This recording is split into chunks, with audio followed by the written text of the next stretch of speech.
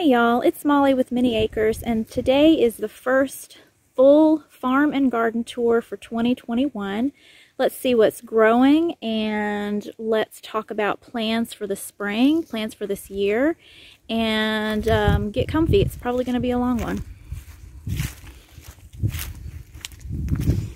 Something that I would like to do one day when it's warm is clean out this area, clean up this bed, and this little walkway and tidy it up again. Hopefully the chickens won't destroy it again. But that mint is coming back. There's some more mint that is just uh, surviving the winter pretty well. So we're in the greenhouse and what's the thermostats? It's been cold and windy and I really don't know how cold it has gotten in here. And I, you know, haven't thought ahead or really planned well to use the greenhouse um, and to tighten it up for the winter to keep it warmer in here, maybe in the future, but I also might just wind up making a little hoop house for that purpose. Here's the cassia bush that I cut back and brought in and it has still got green leaves on it. It seems to be pretty happy right here, so I'm really happy about that. I'm not sure if those mulberry trees are going to make it. They don't look as happy as I had hoped. And, oh, hang on, I'll get you in a minute, buddy still nothing really going on here with my pomegranate seeds. But I also just today planted some wild pear seeds. My husband brought me home these two little wild pears. They were about that big. And I just uh, saved the seeds from them. We don't know what the variety is. I don't know. Um, just, you know, why not stick it in the ground and see if they grow. I still haven't brought this cup inside. It's been out here for a long time.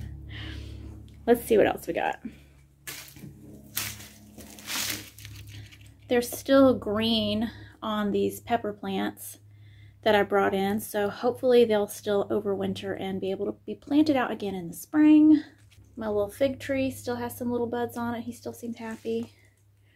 Lemon tree has perked back up. It's not nearly as yellow as it was. Still have the little pecan, baby pecan tree. So the cassia branches that I brought in to try to root, they didn't root. And honestly, I probably waited too late to bring them out here and put them in dirt and see if that helped. But, you know, it's worth a shot. So I just stuck them all in some dirt and we'll just go from there. And what else? There's some catnip hanging on and some stevia hanging on. So we'll see if that survives. And I just potted up the spearmint that I was um, rooting in the house in the kitchen. So I'm going to bring that back inside so that it can stay warm. I'm going to wash these trays and get everything ready to start seeds. I'm trying to be a good, proper gardener and sterilize and keep everything nice and clean and tidy so that I'll, uh, my future self will thank me for that. This Kimberly Queen Fern is very happy in here. Okay, so we're going to try to go outside. This whole area over here I have not shown y'all yet. I had talked about it. Um, I had lost some footage on it. But this is where we have um, many of our pets buried, which might seem kind of morbid. But Delilah, who recently passed away, that's where she's buried. And then over here, this is a whole area that I would like to get cleaned up and mulched really nicely and have some more um, perennials where my my dad's ashes and his cat that I inherited are both right here. And so this doesn't look tidy right now, but I can envision it being a really nice little spot. Maybe put a bench out here too where we can come and just sit and listen to the wind chimes and listen to nature and look out over the garden. So if you can imagine with me, this potentially being a really lovely spot.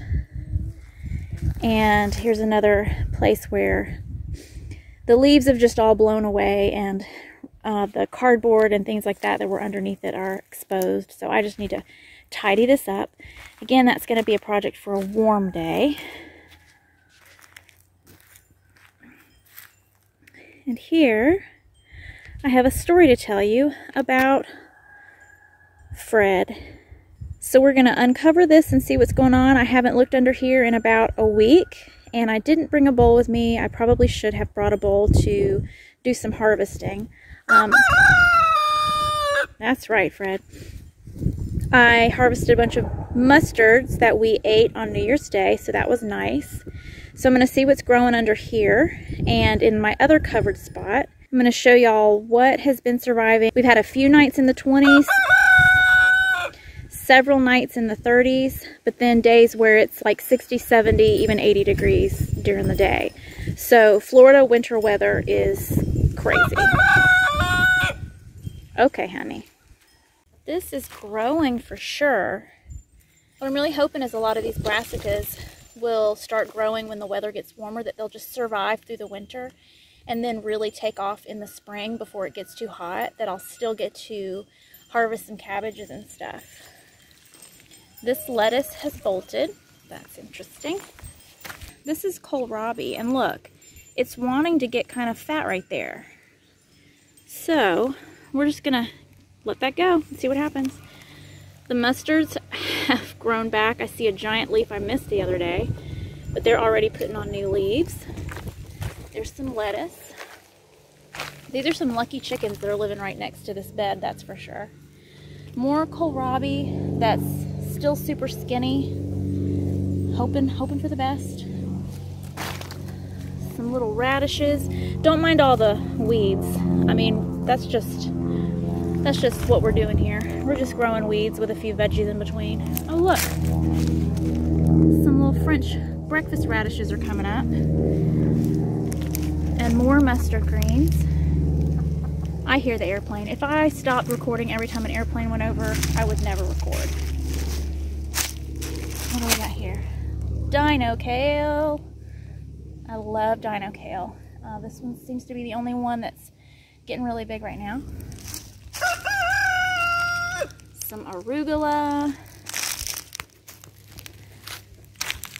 That looks like arugula even though it's labeled giant noble spinach.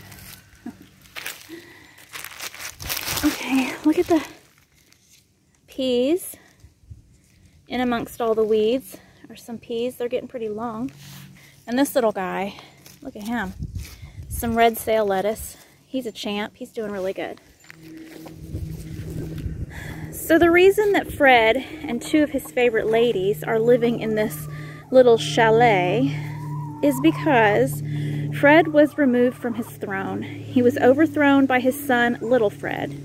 Not Fred Jr., who I loved, who died of suspicious causes, but by Little Fred, who was a scrawny little pain in the neck guy. I'll show him to you in a minute. But apparently he's grown a little, he's gotten some gumption, and he overthrew his father's kingdom. So Fred was all alone he's over in the corner. Fred's such a good rooster.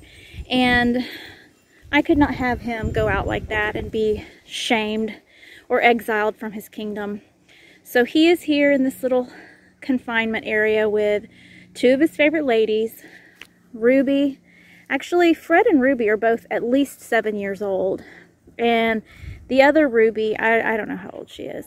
She's actually more of a, I think she's actually a Rosie, which means her mom and dad are either a Buff Orpington or a Rhode Island because I had roosters and hens of both of those breeds for a while and so don't know who her mama and daddy are.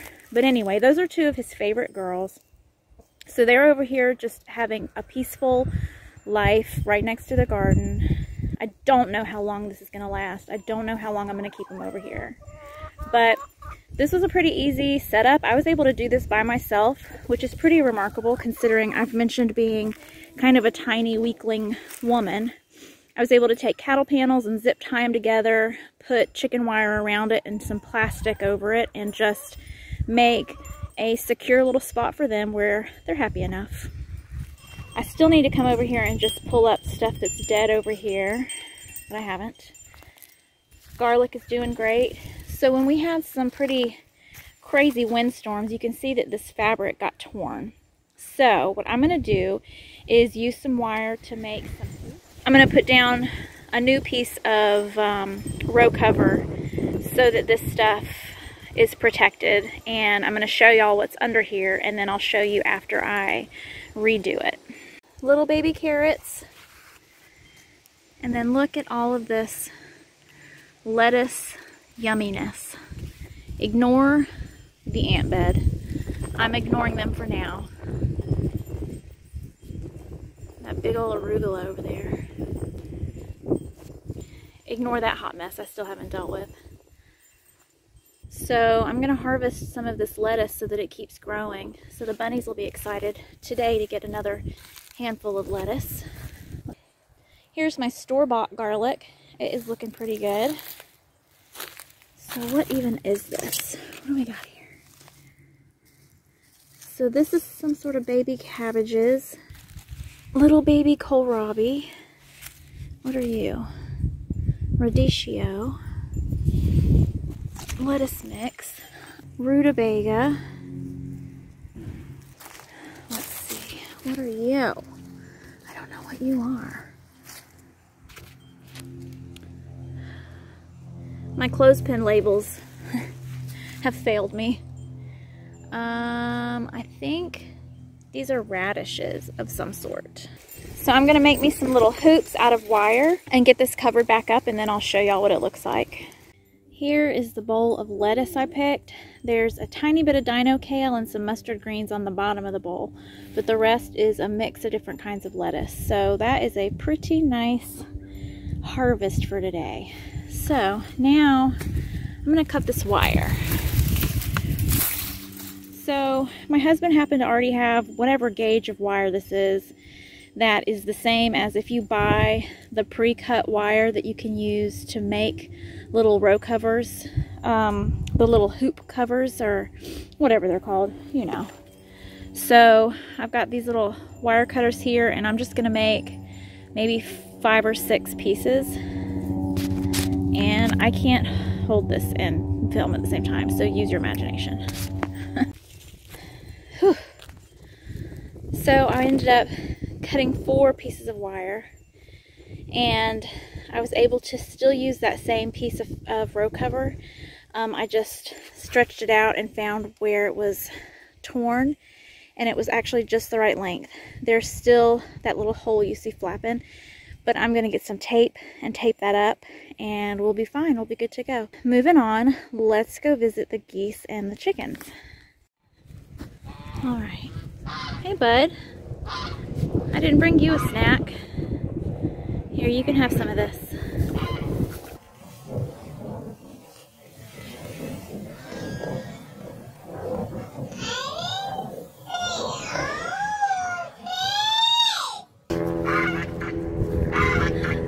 So I'm glad the sun came out, but it is still 40 degrees Fahrenheit. I don't know what that is Celsius, but y'all can laugh at me all you want. But that is too cold for Florida. And the wind is blowing and my nose is running.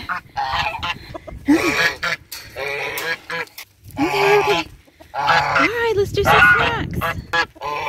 Here we go.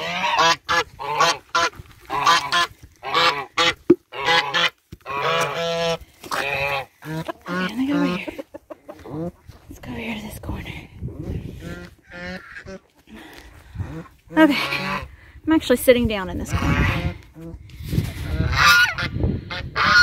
Calm down.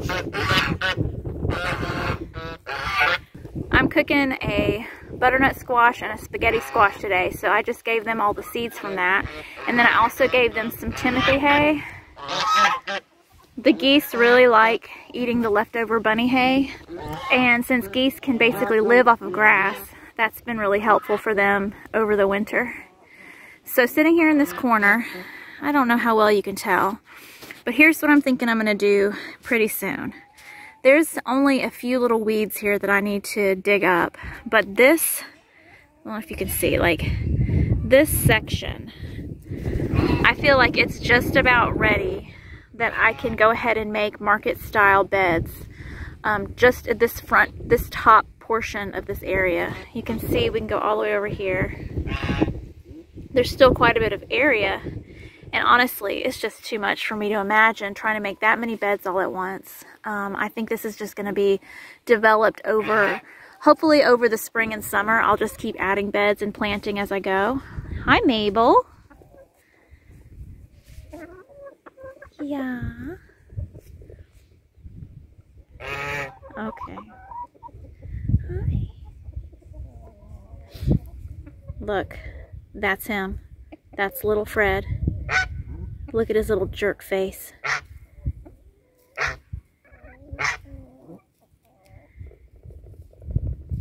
He has fattened up a little bit.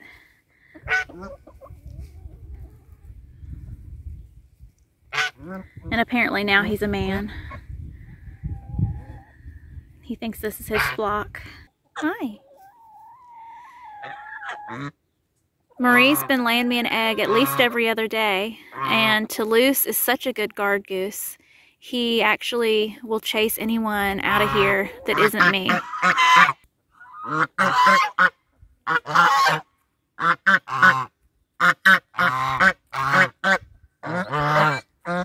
I'd like to introduce you to all the different chickens that are named. But these two won't hush. See their two janky coops over there? That is on the plans to build a nice big fancy chickshaw.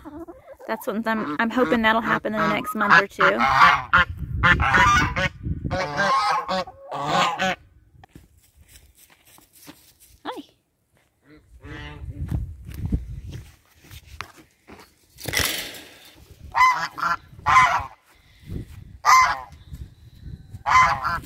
All right, so guys, uh,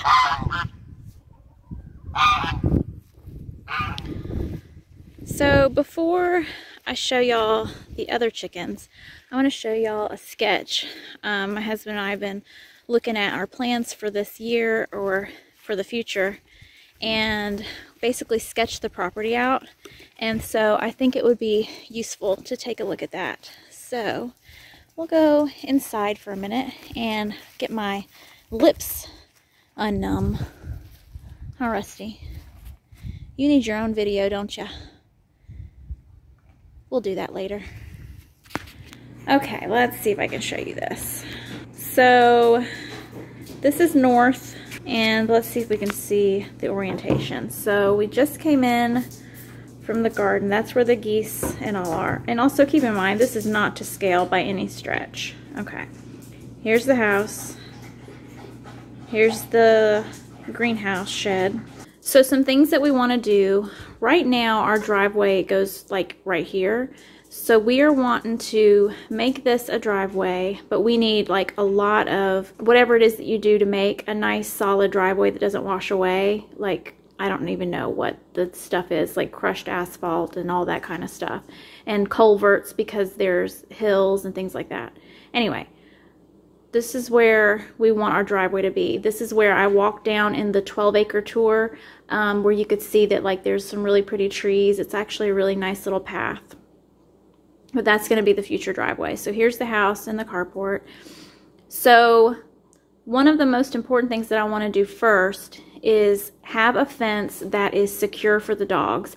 They keep sneaking out under different spots in the fences, and so um, they'll follow us down the road if they're outside while we when we leave the house. And so that's just not safe. We just want to make them more secure. So what I want to do is connect a fence here and have this be where there'll be a gate. There's a fence, whoops. The fence right now that runs along here actually kind of goes like that to put a more secure fence that's more parallel to the house. And then also put up a fence right here that connects to the garden. And then this fence back here. All of this would be secure fencing so that this would be where the dogs could go. So that's where, like this is where the trampoline is. I don't know if you can envision that. And then here's the raised beds. Ideally, this is a great spot where I would like for us to move our bees. Well, we don't have any bees right now, but once we are able to start collecting hives again in the spring, that this is where we would put our bees. And let's see what else. And then also be able to put a fence across here and then a fence back here because right now, so we have a shed right here. I would like to make a smaller barn right here that would be ideal for raising baby chicks, potentially being a place like to milk goats and things like that in the future and have and store the things that I need because out in the big barn, I haven't shown y'all, but there there's just nowhere out there for for my stuff for gardening and farming and animal stuff because this is full of my husband and my son's projects. They are into old trucks and cars welding and all that kind of stuff is what goes on at the big barn so I would like to have a smaller barn that's just for all of my smaller homesteading projects and right now back here is where the other chicken coop is that we're going to go back there in a minute. But this is where ideally my husband wants to get back into raising quail. And so he wants to put a run. I don't know how else to explain it except that it's called a quail run. It might be called something else. But anyway, it's like a big netted area where he can have the quail because he wants to raise them to be able to release them back into the wild. Bobwhite quail are native to our area and for a long time at least the last 20 years or so, we've noticed a decline in the population of the birds. And that's just been one of his passions, is that he wants to help rebuild the wild population. Um, in addition to, you know, being able to raise them to eat and also when releasing them into the wild so that he also can continue to still hunt them because that's something that he enjoys doing. So it's sort of trying to replenish something, a resource that he um, also, you know, enjoys for recreation. So this shows like some potential areas of putting up fences and sort of kind of deciding what we're going to do next as far as like infrastructure. Like I said, the most important thing to me is getting the new fence put up for the dogs and the new driveway. I'm not sure which one would come first because I'm not sure how much each project is going to cost. We have to look at our budget and see what we can do first, if we're going to do anything this month or if it's going to have to wait till next month. But this is sort of like an overview of our property and sort of how we can like fence it off in different areas. Oh, and the other thing I was going to say too is potentially being able to have areas where there's goats or pigs or other animals as well.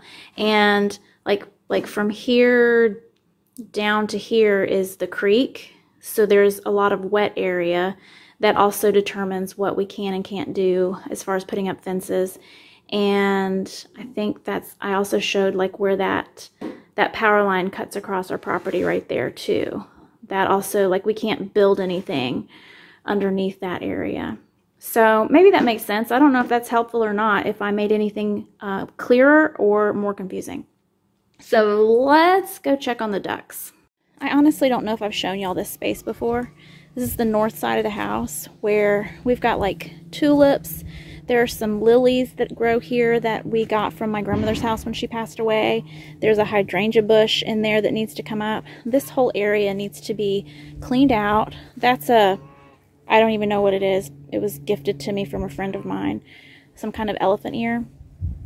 This whole area, I need to clean out these beds. And what I would like to do is put a path from the front to the back of uh, pavers, so nice little walkway.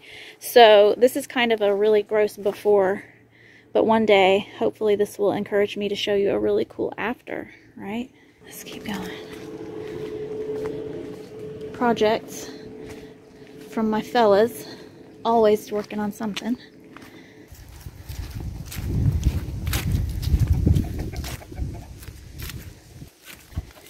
This space is in bad need of some mulch. I would love to cover this in a thick layer of wood chips. Jean-Ralphio. Fat Elvis. Y'all can't possibly be up to any good today. Little Elvis. Oh, I hear Sarah. She heard me. But you can see this area's been washed out a lot and I feel like, yep, you found me. I feel like this would be, um, it would be really beneficial if I'm going to keep using this area for the chickens to, to put a deep mulch. Here's a lot of leaves. I guess we could just go and find more leaves and use that. But it would be really fantastic to have a really thick layer of wood chips. I'm going to refill the duck swimming pool.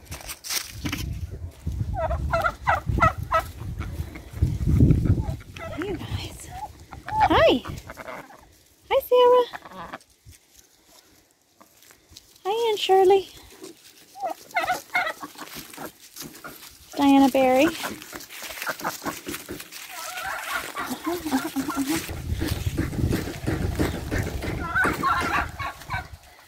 This is the space where I had mentioned that my husband had raised quail, one of the places.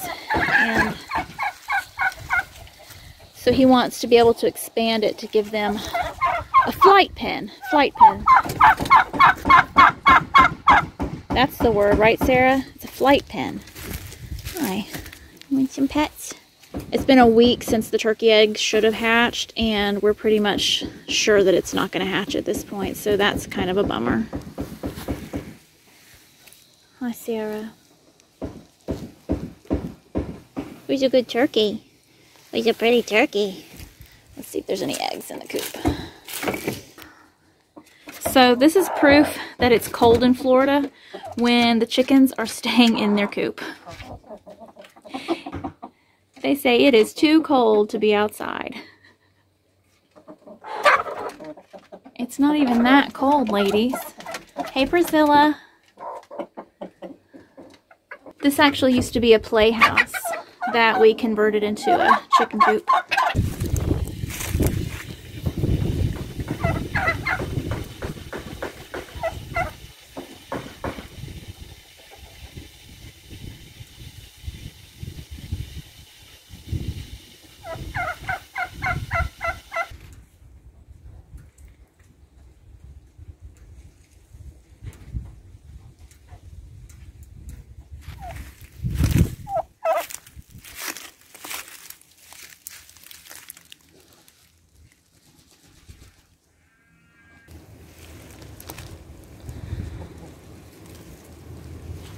Sweet girl. That Elvis. Hopefully I didn't forget anything, but I probably did.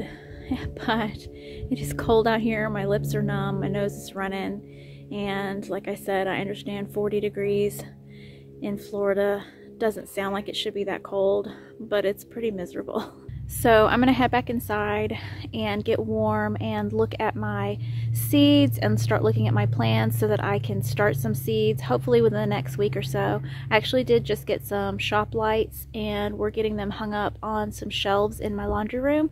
So I'll share that in a future video and I'm trying not to get ahead of myself, trying not to start anything too early, but at the same time I don't want to wait too late either. Because I can't trust my memory and I need to write everything down, I have to see what needs to be started when because our last frost date is the end of March and that'll be here before we know it if the world keeps turning. So so I'll share more about that in another video and I'm cold so I'm gonna go inside now and I'll see y'all later.